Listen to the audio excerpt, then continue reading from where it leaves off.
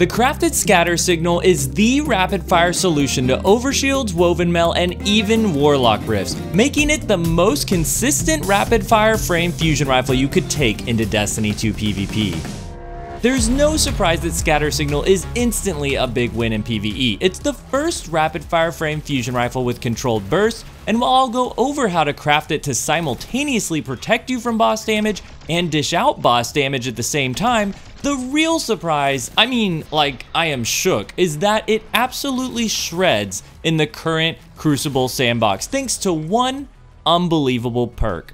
We'll start there in PvP by first looking at the stats. Scatter Signal is the first strand rapid fire frame fusion rifle. That means it has a charge time of 500 milliseconds, fires 9 bolts, and needs to connect 7 of those 9 bolts in the Crucible to take out any Resilience Guardian. It's the second rapid fire fusion we've got in the kinetic slot, and thank goodness, we are no longer stuck with the trash stats of Riptide and PvP. In fact, outside of the extremely out of band aim assist on Cartesian coordinates, Scatter Signal has the best stats nearly across the board of any rapid fire frame fusion rifle in Destiny 2. The highest range, stability, and recoil direction stats, and if you take away Cartesian, Scatter Signal also has the highest aim assist at 39. That's 8 more than Riptide, the equivalent of running two helmet targeting mods. I first noticed the range and aim assist when I had a roll that dropped with all range hammer forged Projection Fuse and a range masterwork. It didn't have any good perks, but through just the stats alone, I was landing one burst with a rapid fire frame that made me literally stop in my tracks realizing I had no accuracy perks on. So we're already at a good spot here before we even get to the perks, but we're gonna build off the perks to get to an amazing fusion rifle. Scatter has a lot of stuff in the perk pool you've never seen on a fusion, and for PvP that is going to throw a lot of people off. I'll admit up top, for a moment, after a ton of testing, I was one of those people, but then I found the key that sets it apart from the likes of Cartesian and Zealot's Reward. I'm not talking Kickstart. You could for sure use that if it's in your playstyle and you just want a kinetic slot iterative loop. And I'm not talking the new Deconstruct perk, which I had already experimented on and appears to have a bug or something. It doesn't activate against barricades unless you hit the actual opponent with a shot first making it a dead on arrival perk for me. A lot of wasted potential I might cover in another video. I'm also not talking about the combination of Encore, Adagio, and Dragon's Vengeance for a potential 93 range on a rapid, although I'll present that as an alternative roll. What I am talking about is how under over on scatter signal is a game changer on rapid fire fusion rifles. I know, I know, and trust me, this isn't even another slick draw Eremite situation where it comes down to feel. This is a mathematical game changer for rapid fires, a solution to the one reason you wouldn't run a rapid fire, overshields and woven mail. Did you know that at base, for a normal rapid fire fusion rifle like Iterative Loop, it is impossible to one burst a Tin Resil Guardian with woven mail? I covered this recently in my ultimate guide to charge time video, which you should definitely subscribe to the channel to make sure you're notified of great info videos like that for, but in that guide, I talked about how it would take 10 bolts of a rapid fire frame fusion to one burst a Guardian with Woven mail, which is impossible. Rapids only fire 9 bolts, so you literally cannot do it. Up to this point, Woven Mail has been the counter to rapid fires. If you have a rapid fire frame with high impact reserves, congratulations, you can now potentially get rid of your opponent with Woven Mail using all 9 bolts, but you have to be absolutely perfect. Under Over changes that, giving you a 20% buff against Overshields and Woven Mail. This is the only fusion rifle in the game to have Under Over, the first time we're seeing it. And it allows you to go from needing 10 bolts to take down a Woven Mail Guardian to only 8. It gets even better if consistency is what you're after. If you run liquid coils, you can 8 bolt overshield 10 Resil Titans as well. The extra damage only happens while they have the overshield active, which is why you need liquid coils, otherwise it doesn't really do much and remains 9 bolts. We'll talk in a second about which I recommend because I've still got one more bonus of running under over. Under Over is kryptonite to healing rifts. With enhanced Under Over and liquid coils, you can 6 bolt warlocks up to 7 resil in a healing rift. Unlike Overshield Titans, the Rift acts as a constant overshield to Warlocks and allows your under over bonus damage to apply to your whole burst. That's only 6 out of your 9 bolts. Without liquid coils and just enhanced under over, you're still 6 bolting up to 5 resil warlocks in their rift, so they're actually better off not in their rift than in it. This is huge and caused me to basically go warlock hunting all Iron Banner. If you're worried about the Resil checks, keep in mind that Warlock Rifts take forever to get full overshield, and the damage is so close that if they're not at that full overshield, you'll 6 bolt regardless. So already, just for fighting Woven Mail and Warlocks, I know I want to have this fusion. And I know I want to craft it with under over. The question is, do I want to craft liquid coil so that I can 8 bolt titans in an overshield too? It's a big price to pay, giving up that precious speed and plus 10 range I could have had from Projection Fuse. But it does make you super consistent against pretty much any kind of player you could face in the game. So I played extensively with both, in competitive and in Trials of Osiris, and I've landed on going with Projection Fuse. The range benefits are just too great on rapid fire fusions, which need every drop they can take. And it's not like I can't take out a 10 resil Overshield Titan still, I just have to land all my bolts. I still get to 8 bolt Woven Mail Guardians and 6 bolt Warlocks and Healing Rifts. I totally get it if you want that consistency with Liquid Coils, I thought I might end up leaning that way, but let's complete the rest of the God roll to show you why I landed where I did. So I know I want Projection Fuse and Under Over. I said I liked having all range in the stats, so where did I land on that? I for sure want a range masterwork to keep pushing that range out. I also landed on keeping a counterbalance mod no matter what I did with the barrel. That amount of recoil control felt great on this rapid, but I was really torn on the barrel and the third column perk.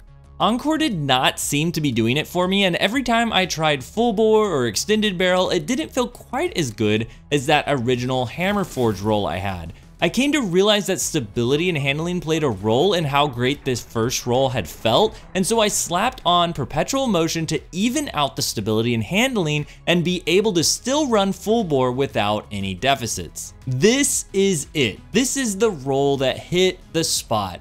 I'm still running the max range possible on a rapid at base, 58, I've got perpetual motion, pushing my stability to 48 and handling to a nice 69.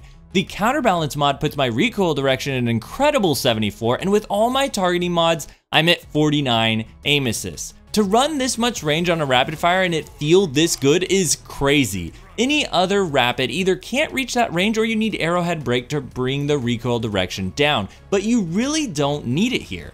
Plus you're doing all of it while 8 bolting Woven Mail Guardians and 6 bolting Warlock Rifts. We've also finally got an origin trait that's useful for fusions as well. Dragon's Vengeance is a perk that acts kind of like a mini version of Eye of the Storm and Alacrity mixed together. If you get weak or if a teammate dies, your weapon is auto-loaded and you've got 11 seconds of a boost to range handling and charge time.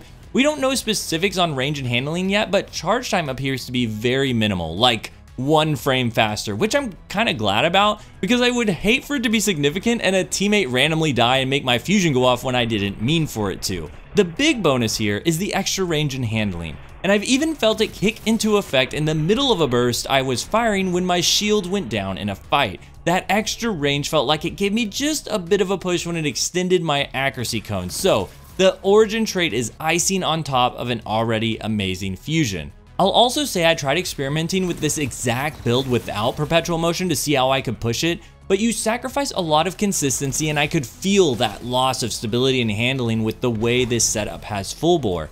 So perpetual motion really does even it out. I also tried running Slice to see if it would save me in some gunfights. It will give the Strand debuff Sever to any enemy you hit with your weapon after using your class ability, but I really feel like that perk is going to shine on primary weapons more than special weapons. On a fusion, if I don't get the one burst off, I'm usually dead in a fight anyways. Before jumping to PvE, I want to mention that all range PvP build I first tried to craft. The thought was to push this range stat since that was already a strength with this fusion. I saw Encore, which is a perk that can give you plus 5 range and a bit more accuracy every time you get a kill, and then in the fourth column I saw Adagio, which also gives you more range and damage. Then even in the origin trait, Dragon's Vengeance, if a teammate dies and you get low on health, you get a bump in range and charge speed as well. So that's three different columns of range boosts, on top of what is already the highest base range available on a rapid fire fusion. If Dragon's Vengeance turns out to be even just 5 range, then that's a potential 94 range you could hit. Unfortunately, Encore only gives you one stack for body shot kills. You can't get the quick two stacks like you could on precision weapons. Now that's still up to plus 20 range instantly from all these perks off of potentially one kill, but this doesn't hold anything when you compare it to the guaranteed plus 30 range from Killing Wind and Adagio on Iterative Loop. I wanted the accuracy from Encore to make a difference, but just trust me, I played around with it a ton and just could not compete against the best. This is when I pivoted from trying to make this work and embrace the beauty of the most consistent rapid fire fusion you could bring into the Crucible with Under Over. In PvE, Scatter Signal is honestly a godsend for me. I love the idea of hard hitters like Eremite, Loaded Question, and Nox Perennial 5 with Control Burst, but I just can't stand the long charge time particularly in activities where I'm on the move a lot and don't want to walk charging it for so long if I'm not using it against a boss. Sure, if you're only judging boss DPS and that's it, then this fusion will not do as well as the hard-hitting impacts we have available, but if you like using something faster on the go to clear ads and still pack a punch, I think you'll find Scatter Signal does the job really well. On the subject of strictly damage versus the alternatives, I'd also like to sway your attention away from the Overflow perk. Yes, it is super easy to just pick up massive amounts of ammo and never worry about anything else running just that and controlled burst, but I recently saw fellow YouTuber Henra point out that you can use this perk Slice to sever bosses even when they have an immune shield still up. This means you can use your class ability and sever bosses before, during, or after DPS phases to protect your team. This ultimately has become my favorite way to run the Fusion in PvE. There's just so much utility and the reload speed at base is totally fine on this rapid fire without overflow.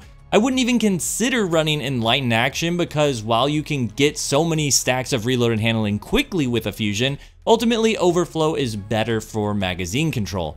Encore, Surplus, Loose Change, and Perpetual Motion all fall way short in PvE, so it's really just Slice versus Overflow. In the fourth column, controlled burst is the given, but I do want to point out that under over is a 125% increase against combatant shields. So if you're ever in an activity where shields are giving you a problem, bust out your PvP under over roll could help you out a bit before you get to the boss. Everything else falls flat compared to Control Burst. 10% faster charge time and 20% increased damage for free is just too good. The PvE god roll for me would be full bore enhanced battery slice and control burst with the charge time masterwork. Remember, as I talked about in my charge time guide, charge time masterwork is now just free speed. For PvE, that's a must have. And then I'm running full bore because I don't want damage fall off to be hurting my damage if I step away from the enemy for a bit. Damage fall off hits hard on these. Then Slice is just so unique and brings a lot of safety to your engagements. Most of the activities and DPS setups I use don't fly through my entire Fusion Mag anyways.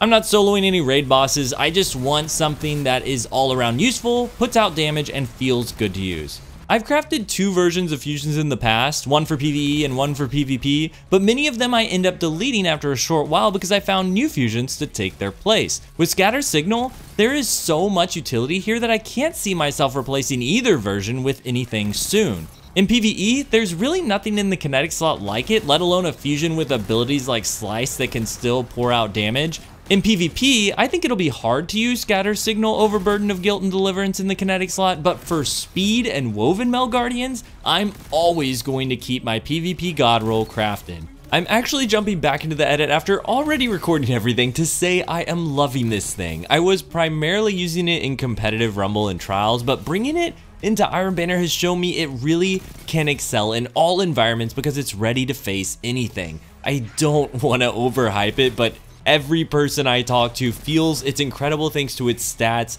and consistency. Scatter Signal is easily in the A to S tier with its utility alone, and I almost can't believe the stat package it was able to bring with it. It is really, really good and is making a bid for the top rapid fire fusion in the game. This has been Legoleflash, until next time, GG.